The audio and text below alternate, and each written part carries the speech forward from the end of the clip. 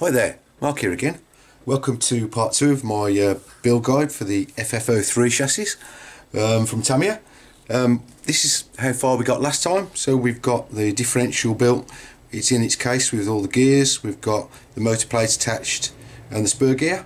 Now, at, in uh, part one, I wasn't exactly sure on how to tension the um, the diff once it was built, but um, I had a nice comment uh, from Biker Bill, cheers Bill, uh, who pointed out that it does show us here in this diagram.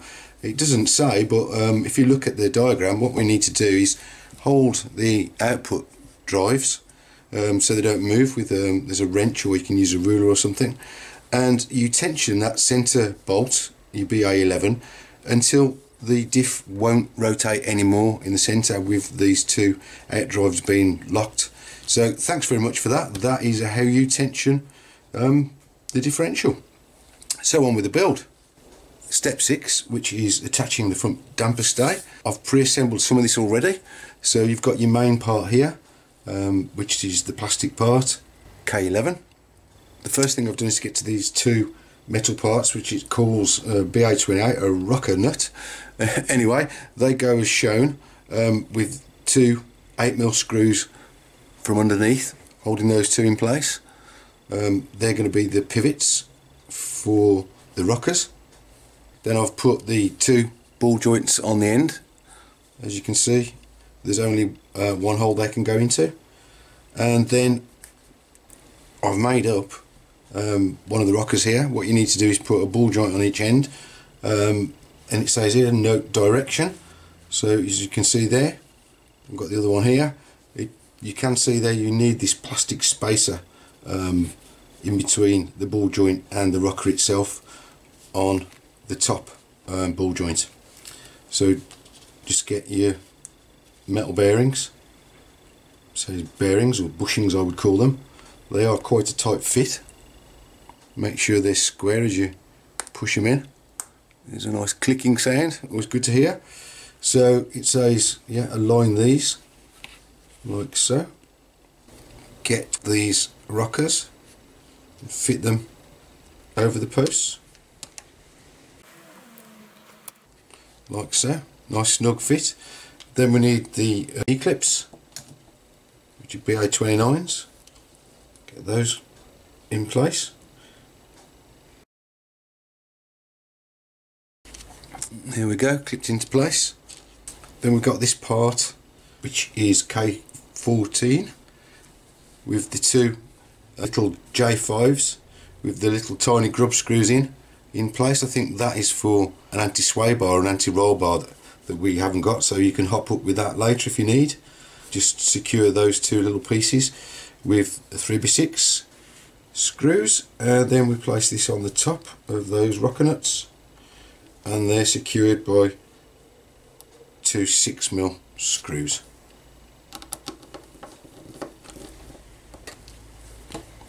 Okay, so when you're finished, it should look something like this.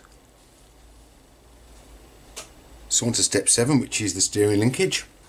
First thing I've done is to make up this tie rod. Um, basically you get your two ball ends and screw that onto the BA17 which is um, the 32mm bar. So that's the turnbuckle. Um, just match it up with the diagram and that's the right length. The next thing I've done is get this piece which is K6 line it up with the diagram. You can see that it's got these uh, kind of ribs on the top. Hope you can see that there. So that shows it's the top. Put the ball end in there. And then what we need to do is get the BA26 bushings again and just push those in. One on the top and one in the bottom. So that's like so and then you need this part which is K5 again put the bushings into that. Again copy the alignment of the diagram. Then we've got these BA27s which is a flange tube these two things here. And this part which is K16 I've already put the two ball joints into that one. So it's just a matter of that's going to go through into and screw into the plastic there. And the same with the other side. Put the flange tube in. 3 by 8 screw. And that's going to screw into that hole in K5 okay so when it's finished it should look something like this. So step 8 is attaching the front suspension mount. Uh, it's also fitting the steering post which are BA30 which I've done here. You can see the two metal posts they go into these two holes in the chassis and you've got these countersunk screws that hold it in place from underneath. Oh yeah, um, I did put some thread lock on these screws guys, uh, like it says. Um, the smaller ones don't need that, which are the 3 by 8 mil screws. Just check that on there. Yep, that's the right one. And they're going to hold this part, which is N4. Uh, it says 1XD on it. it. Does actually say that printed on, and that just goes on there holding place with the two countersunk screws. So when it's finished, it should look something like this. And that's a nice easy step. So on to step nine. Now we're going to be attaching that steering linkage that we've already made. We get that pre-assembled part. Um, the one with the angle on it goes onto the left. I think goes over there one on each post.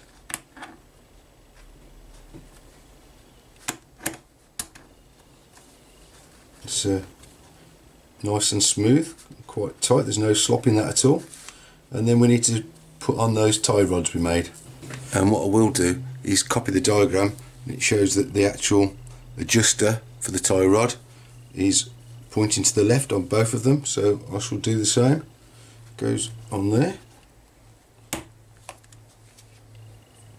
and the other one on there.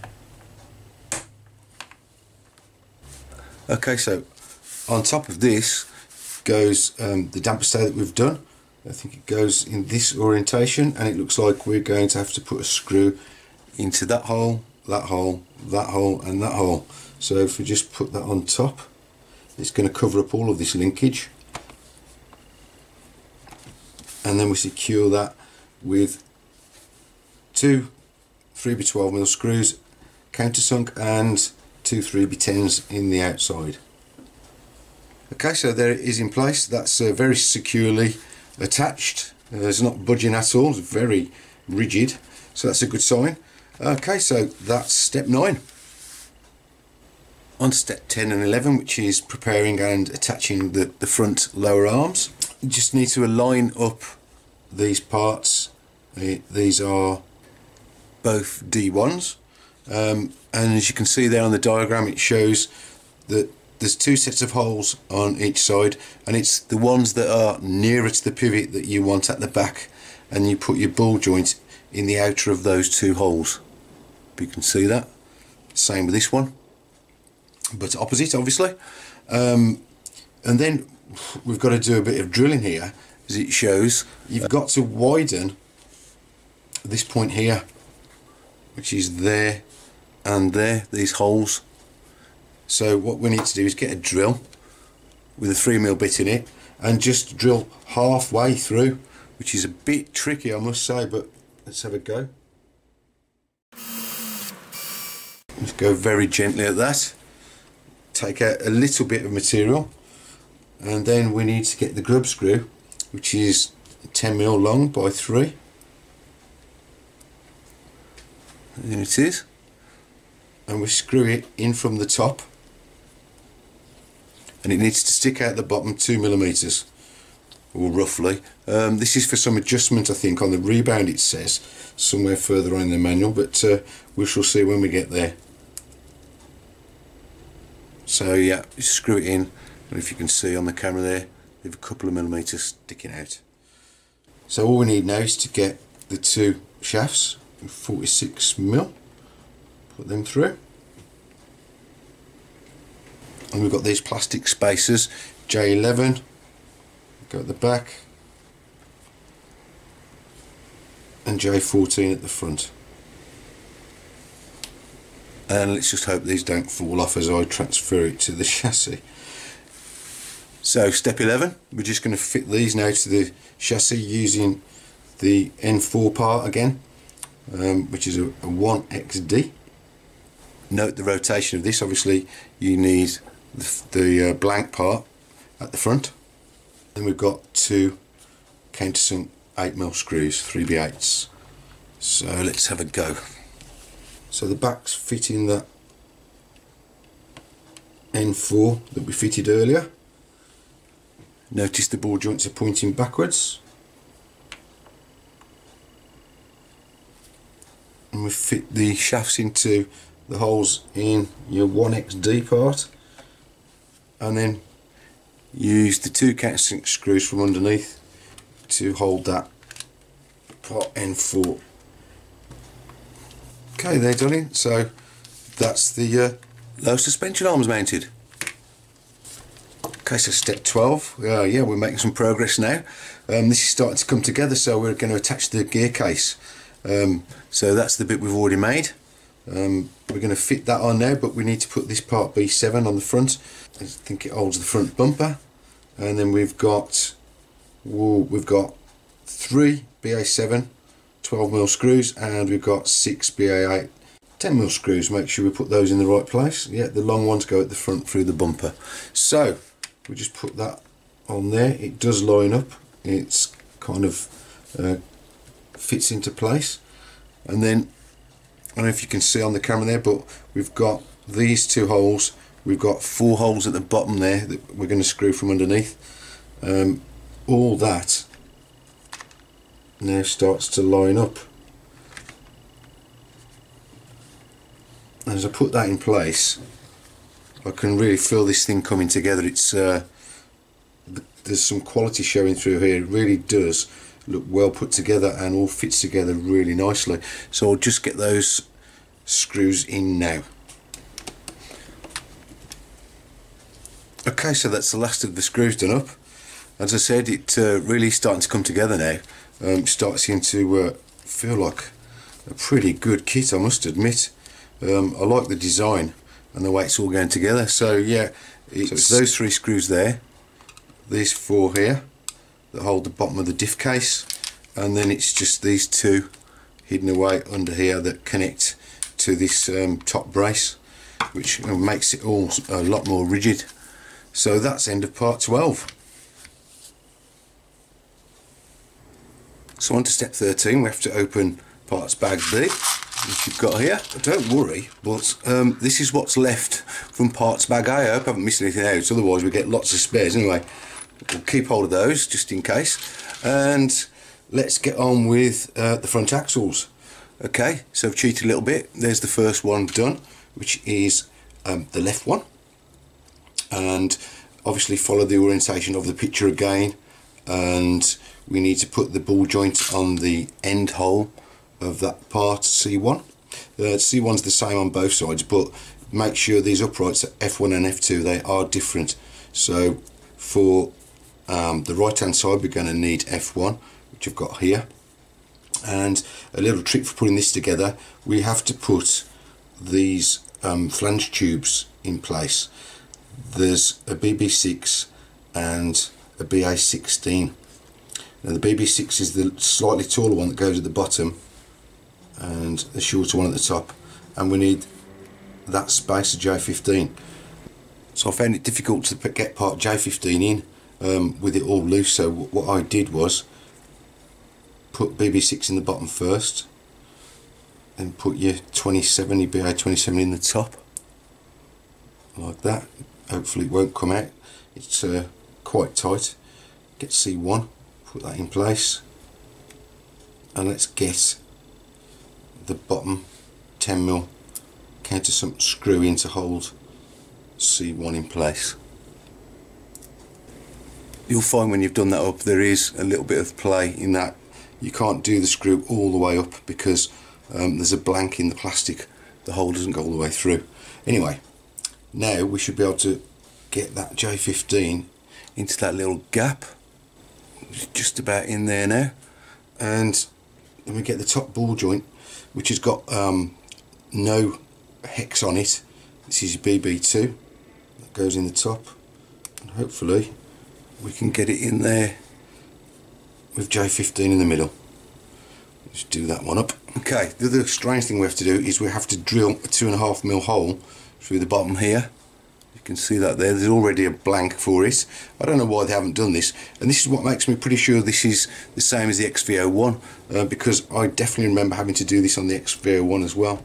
So try not to drill all the way through. You only need to drill through the one side. You can just feel when that goes. Then we get the tiny little grub screw. It doesn't say to put this in place on this step, it's on the next one, but I find we can just get it in place. It'll be ready for later. Obviously don't screw it all the way in, we need to put the uh, suspension pivot in there first. And to finish this step off, we just need to put the drive shaft in, so if you just turn that out the way, your drive shaft with the bearing on, which is your 1050 and push it through and that's the two front axles finished. So moving on to step 14 which is attaching the axles to um, the actual chassis. And the first thing I've done is make up the two top suspension arms which are turnbuckles. Again you need the ball joints onto this BB3 28mm bar. Again just match it up with the diagram. You need two of those. And what we're going to do now is use shaft which is this one with a flat in it. You might be able to see the flat if I rotate it. Uh, that grub screw in the bottom suspension arm is going to hold onto that flat. So I just get the suspension arm put the flat pointing to the bottom. Just make sure you get the right one. So the uh, steering arm points backwards. And we just put that into place and push the bar in. Like so. There's about equal amount sticking out each end and then I can just nip up that grub screw and that'll stop the lower pivot coming out. Okay so when you've done that what we need to do is put the the top arm on. But before we do that you've got this uh, neoprene bushing. So that's how thick it is. You need to cut you get two, you need to cut one in half and put half of it into the output drive. Then we can get our drive shaft, pop that in, and then locate that in the drive cup in the upright. So once the drive shaft's in, we can get the top arm and clip that into place.